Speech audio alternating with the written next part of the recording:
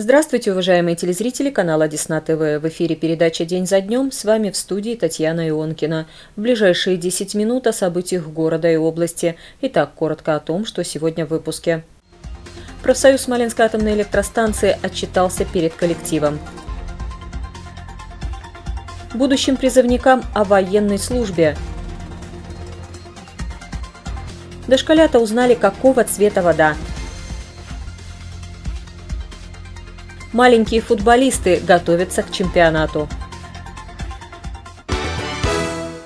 А сейчас об этих и других событиях подробнее. Конструктивный диалог профсоюза и работодателя – гарантия защиты интересов и прав работников предприятия.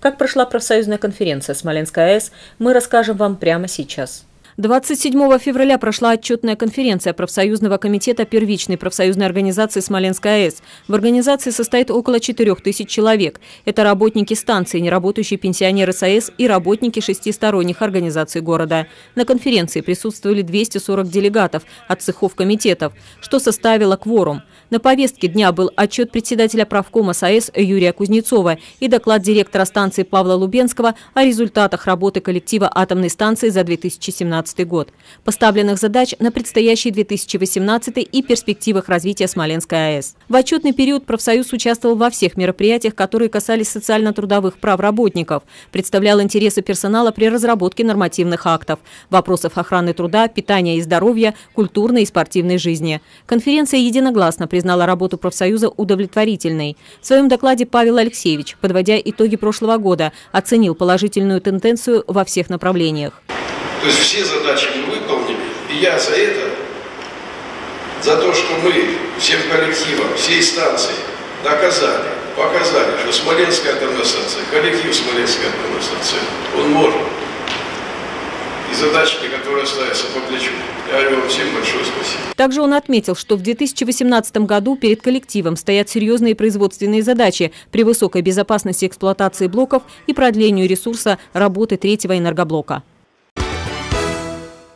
С 9 по 12 марта в Гагарине состоятся 45-е международные общественно-научные чтения, посвященные памяти первого космонавта Земли Юрия Гагарина и 84-й годовщине со дня его рождения. Эти чтения впервые были организованы в начале 70-х годов прошлого века и представляли собой встречи летчиков-космонавтов, друзей, родственников и наставников Юрия Гагарина с жителями его родного города. Спустя 10 лет к мероприятию присоединились ученые и конструкторы, имеющие непосредственное отношение к подготовке и осуществлению полетов человека в космос, деятели культуры и искусства, представители общественных организаций и молодежных объединений. 28 февраля в Якимическом интернате прошел урок мужества «Служить Родине». На встречу с воспитанниками учреждения приехали из Десногорска военный комиссар города, председатель Совета матерей и представитель полиции. Подробности далее. На открытом уроке воспитанники интерната встретились с военным комиссаром Десногорска Сергеем Сибелевым, представителем полиции Михаилом Зайцевым и с председателем Совета солдатских матерей Валентиной Рожковой. Каждый из гостей рассказал свою историю о службе и с охотой ответил на вопросы школьников. Сегодня воспитанникам нашей школы предоставилась возможность пообщаться с интересными людьми. Ребята узнали из первых уст, а не понаслышке, о военной службе. Гости смогли в каждом школьнике зажечь боевой дух – и убедить всех мальчишек в том, что главное предназначение всех мужчин во все времена – защита Отечества. Прививать любовь к родине необходимо с раннего детства. Ребята остались очень довольны беседой с гостями. Я получил массу впечатлений от встречи с такими интересными людьми, узнал об их службе и подвигах вынес для себя много нового.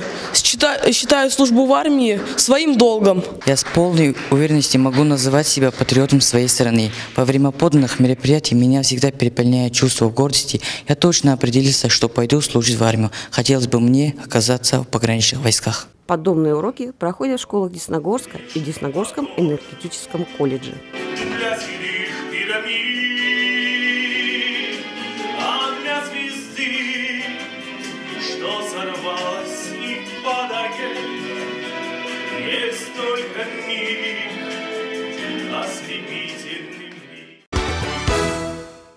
Детство пора первых открытий, все дети любят экспериментировать, а если это проходит как игра, вдвойне интереснее. Из нашего сюжета вы увидите, о чем идет речь. Никто из детишек никогда не задумывался, что дождик, снег, лед на реке под коньками, росинки на траве утром, волны на море – все это привычная вода, которую они каждый день пьют и в которой плещутся в ванной. Ребята, как вы думаете, что общего во всех этих загадках? О чем они все? О воде. О воде, правильно, молодец. Они все о воде. И вот сегодня тема нашего занятия будет изучение воды и ее свойств. В шестой группе детского сада «Мишутка» прошел открытый урок на тему «Вода как явление природы». Дети с удивлением открывали для себя, что вода – жидкость. Чистая, она бесцветная и не имеет запаха. В чистой воде видна даже прозрачная льдинка. Ребята отгадывали загадки, ставили эксперименты с водой. Из мультфильма они узнали, как на Земле появилась вода. И самое главное, что вода нужна каждому живому существу на свете, практически всем растениям и деревьям. Что содержится в тучках? Вода.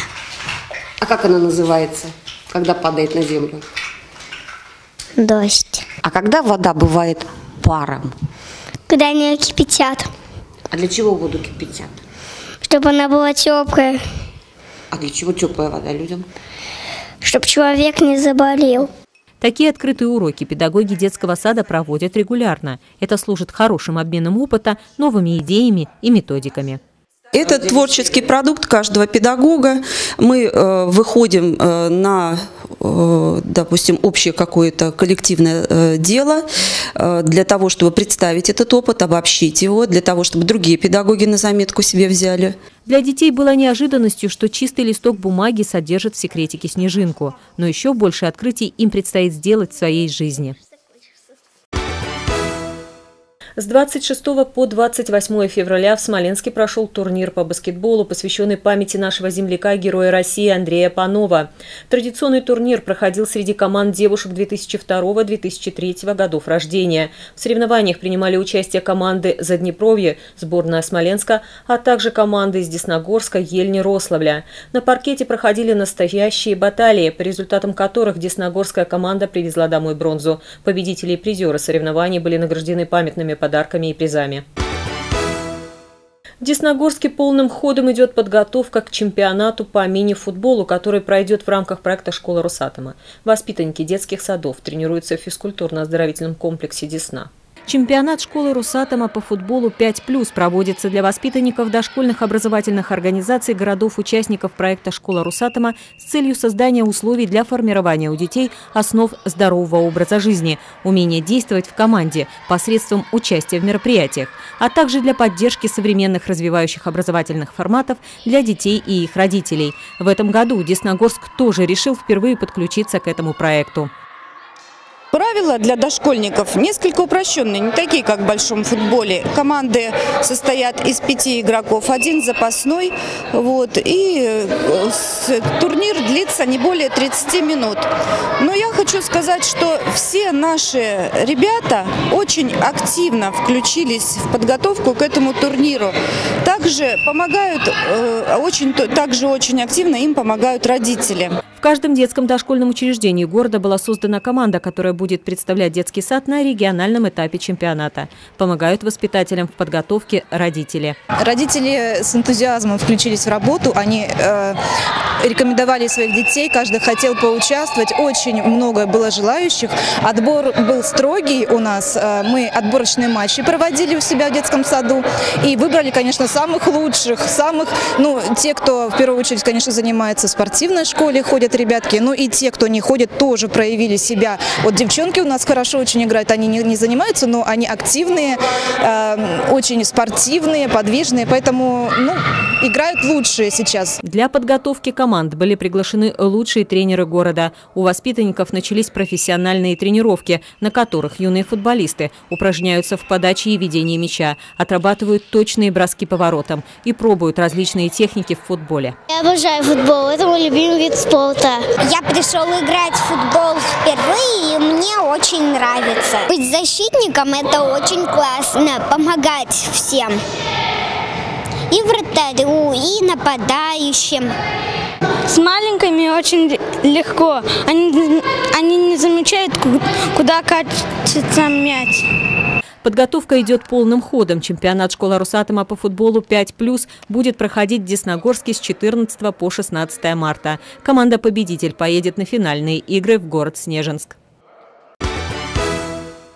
И еще 11 марта в Десногорске состоится межрегиональный отборочный чемпионат по рубке шашкой Казарла. Соревнования организует межрегиональная общественная организация развития традиционного казачьего военного искусства Федерация рубки шашкой Казарла и Смоленское отделение войскового казачьего общества Центральное казачье войско.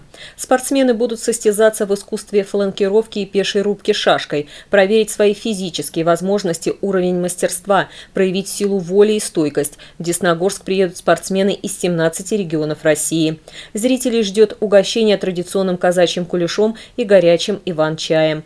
Начало мероприятия 11 марта в 10.45. Место проведения – Десногорский центральный парк.